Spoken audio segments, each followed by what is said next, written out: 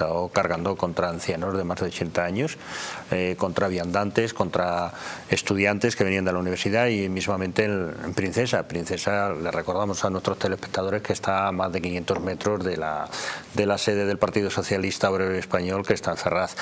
Yo sí que me gustaría, me gustaría pedirle responsabilidad al delegado del gobierno, al señor Francisco Martín, que es el que manda las calles, las calles de Madrid. ¿no?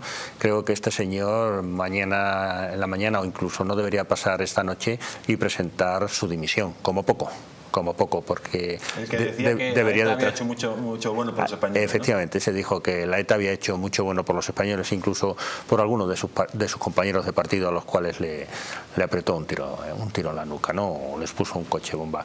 Creo que este señor debe dimitir, no debe pasar un minuto más sin que este señor presente su dimisión.